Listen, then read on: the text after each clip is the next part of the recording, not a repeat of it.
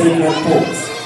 Its lyrics had been written by Charles Wesley that talks about rejoicing and giving glory and praise for the birth of our King, Jesus Christ. Let us now sing and rejoice with our second readers, as they sing to us, Hark the Herald Angels Sing.